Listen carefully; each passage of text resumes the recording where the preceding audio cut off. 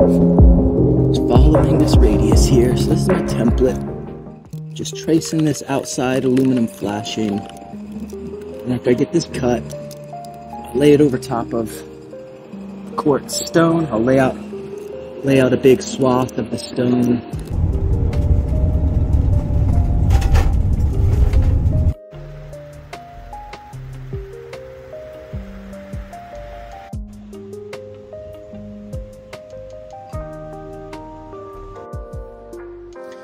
Okay, well, you guys are in for a real fun treat today because I am working on some stone 30 feet in the air in the sun in Florida. So much fun. Here's how we're gonna do this on my belly. Oh man. I figure this is a good time to make a YouTube video because when you're this high up in the air, you're gonna be honest, you know? you don't wanna be making videos lying to your audience about anything when you're I don't I don't know how far in the air I am honestly. I'm so far up. Just following this radius here. So this is my template. Just tracing this outside aluminum flashing. After I get this cut, I lay it over top of quartz stone. I'll lay out lay out a big swath of the stone. Set this on top of it trace it. Theoretically, it'll allow me to cut all of my pieces at once. Get all this radius tile set today. Shout out Joe Martin. Flew me down to Pensacola, Florida to get over my fear of heights. Oh, that scared me. This is ram board. Oh man. It's a nice windy day too, which makes this just so fun. Okay, I'm gonna look down just to soak it in, feel it. Oh man. That's intense. Okay, I gotta do that one more time. Here we go. God, give me strength. Oh man.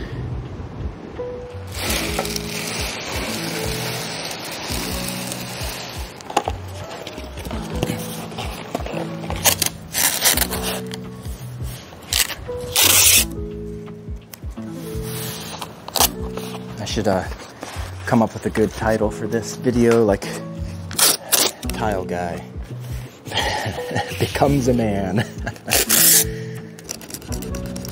oh, there's a bird flying. oh, these birds, there they go. Look at them. They don't have a problem. Oh, I shouldn't have looked up like that. Here's what I want to do.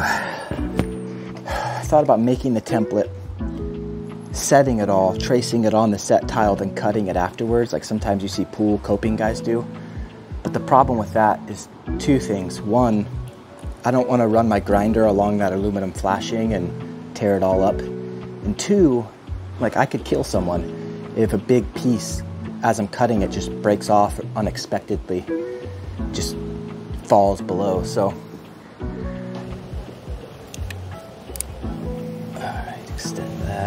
Look at the little ants down there. Those are people.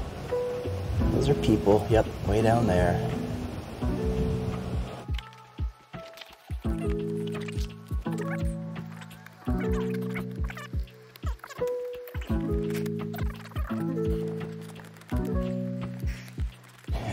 Give you guys a real good view now.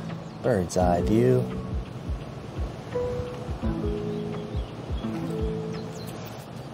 That's over the edge. He doesn't even see me.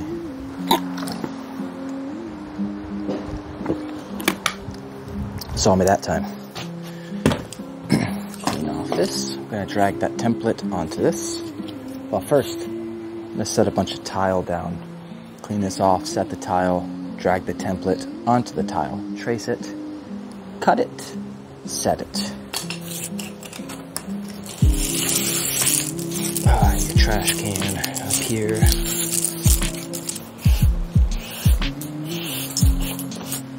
Long straight edge. Put that down.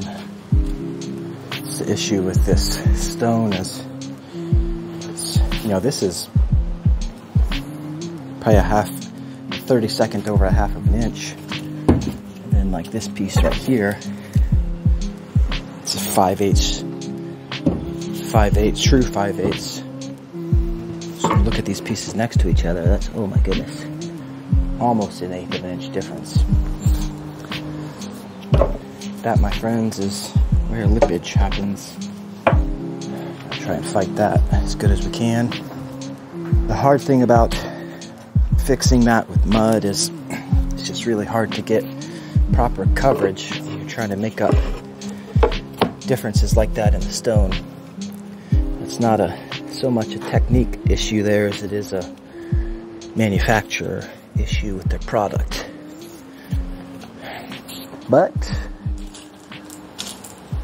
that's why they pay me the uh, the big pennies. It is so nice working in the sun. Even when you're 35 feet in the air. Could be worse. Could be worse. That's a that's a bad way to put it. Better way to put it was I don't see how it could get any better.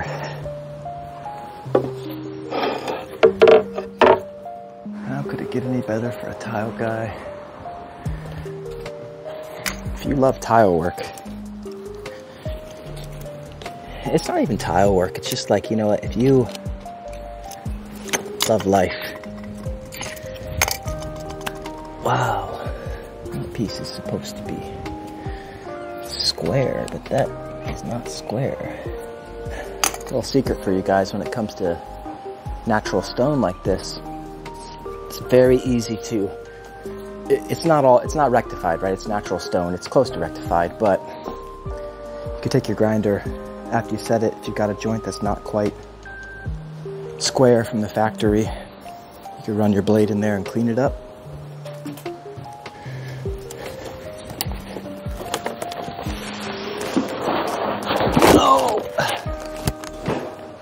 Okay.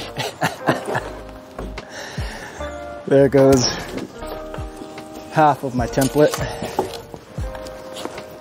Oh gosh.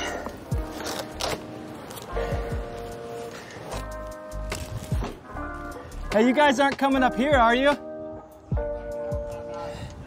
I dropped my template.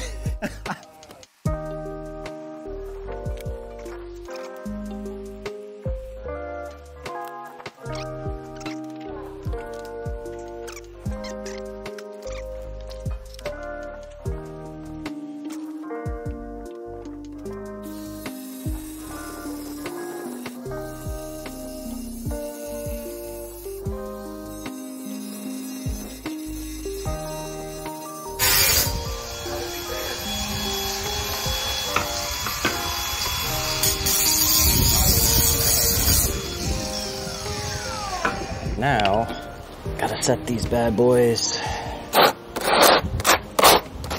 It's Laticrete Trilite thin set over Stratamat, which is over top of a primary roofing membrane. The deck is all pitched away from the house. This is a primary roofing membrane with cast sand. Then you burn in platinum into the cast sand. Attach the Stratamat. Ooh, my camera's gonna blow over. Put the Stratamat over top of the roofing membrane with the cast sand with platinum. Set the stone with Trilite.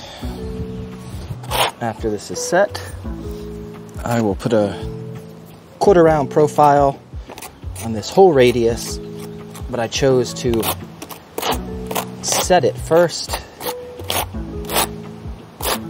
and then profile it after.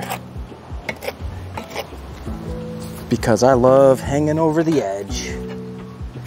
No, actually, it's just so I could get a very uniform profile on the radius. Back and forth, collapse your ridges real good. Squish that mud. These are Raimondi clips with perfect level master wedges, actually. They work together pretty good. Ooh, that wind. Gotta get on my belly. Get that Tri-Lite off that flashing.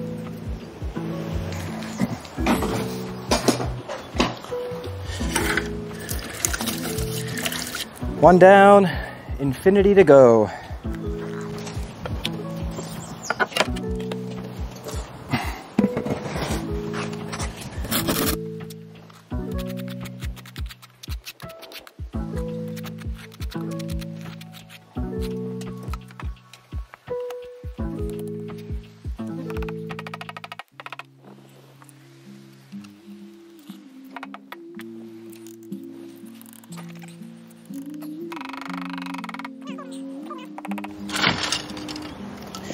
5 8 pavers are kind of nasty to work with.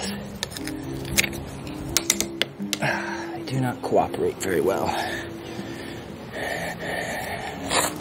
All this mud, I'm just going to leave that. It's way easier to let that dry and flake it off tomorrow. Move my camera.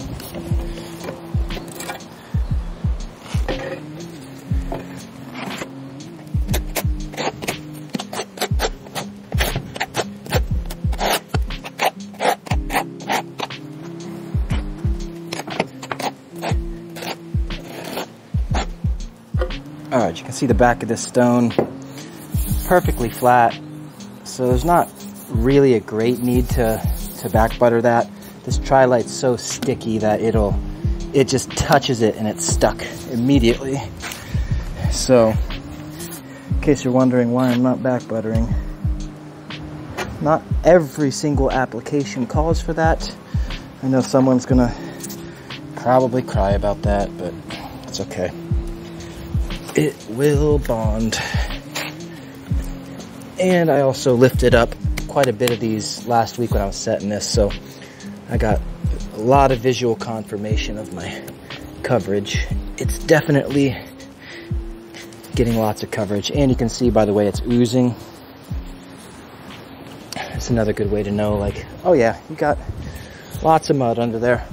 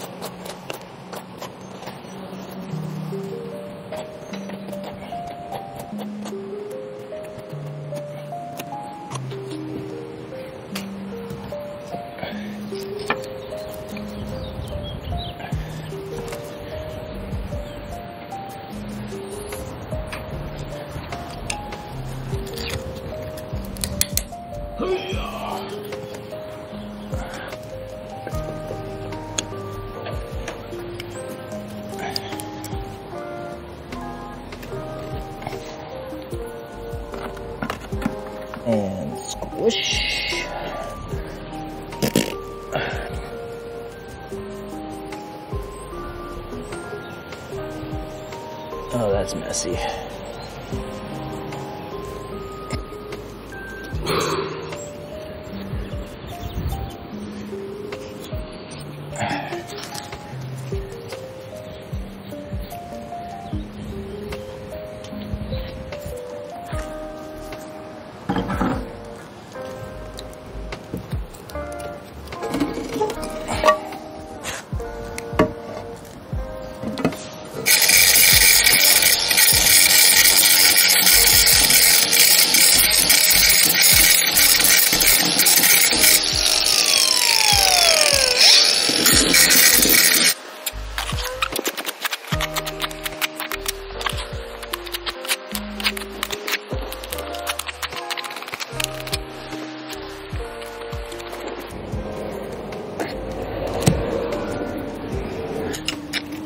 Oh, busted.